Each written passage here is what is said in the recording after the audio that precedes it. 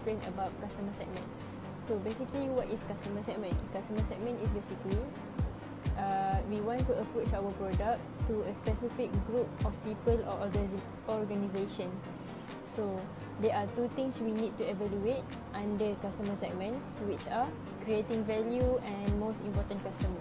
So for creating value, we would like to focus our product on different type different types of age level.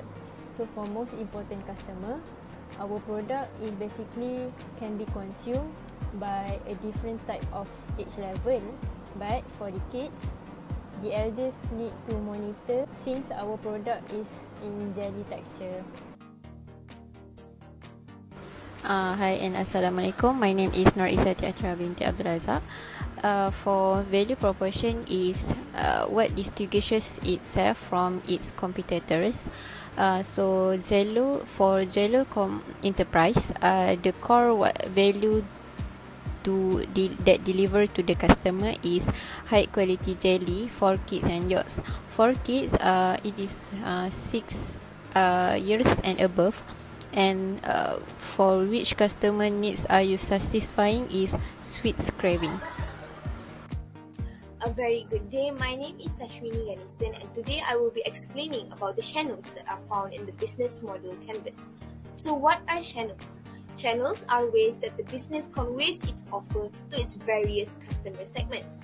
So, channels can stand out from various platforms such as online and offline platforms. In Gel O Company, we use these multiple platforms to reach out to our customers who vary in ages. So our first platform would be social media. Social media is a great channel because it is used by all age ranges, be it by youths or be it by the elderly. So the most famous social media that we use would be Instagram as well as Facebook. For our bigger partners such as companies and corporate, we use our official company website and also have several partner events to let our companies as well as our partners to know about our product. For smaller companies as well as direct consumption to the public, the channels that we use would be retailers, and the most cost efficient channel that we use in today's economy would be e commerce.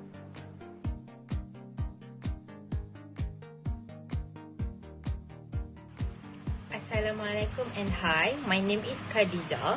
I'm going to explain what kind of relationship that our company want to establish with our customer. In customer relationship, there is three part. The first one is customer purchase. So we decide to promote our product by using social media. Well, we know that social media has gained Apple space in marketing and our marketing team will promote our product which is konjac jelly by using social media platforms such as TikTok, Instagram and Facebook. This is a low cost budget but has good return. The second part is customer retention. Our company decide uh, to establish a membership program that is based on point. Our customer will gain point based on their purchase we will offer extra benefits such as discount and free gift for our shop members. The last part for customer relationship is sale expansion. Our shop will have automated services. This relationship makes a more sophisticated form of customer self-service with automated processes.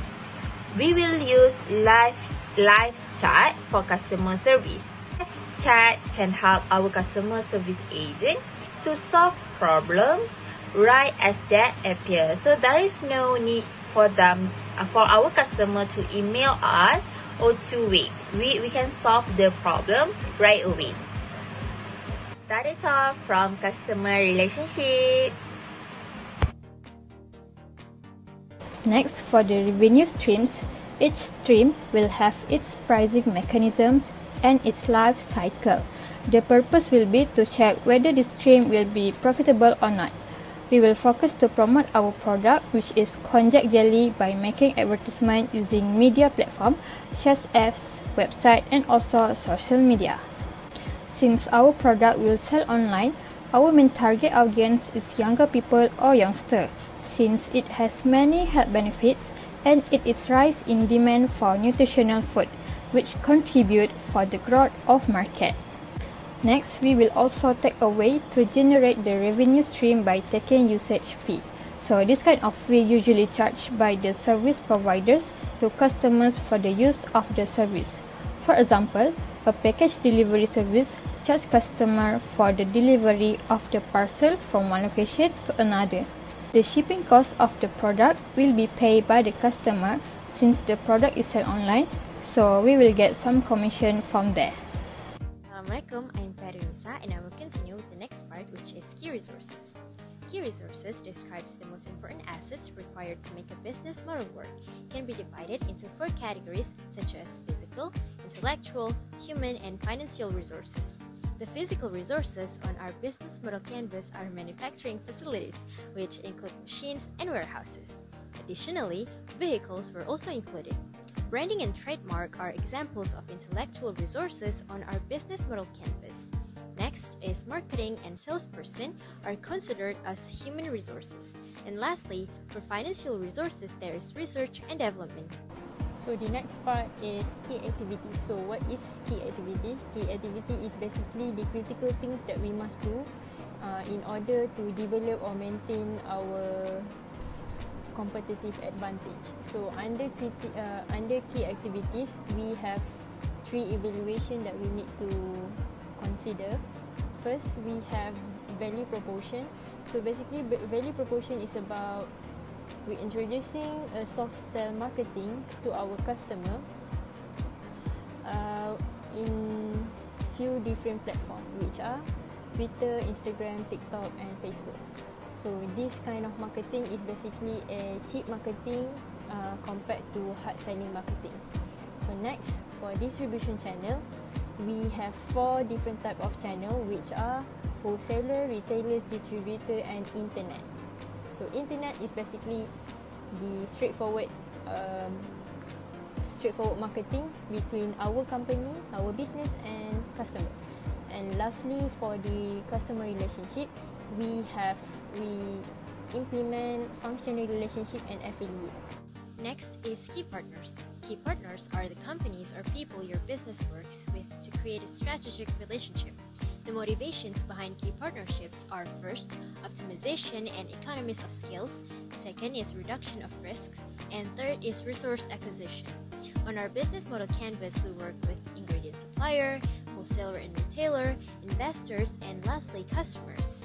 So next, for the cost structure, it describes the most important costs incurred while operating under a particular business model. There are multiple kinds of costs such as direct or indirect costs. A direct cost is what actually takes to make specific product and indirect costs could be something like rent or electricity to keep the lights on in your office. These things that you can necessarily put into a specific product. So cost structure is actually anything that costing in your business to create product, such as cost shipping, labor costs, and also manufacturing costs.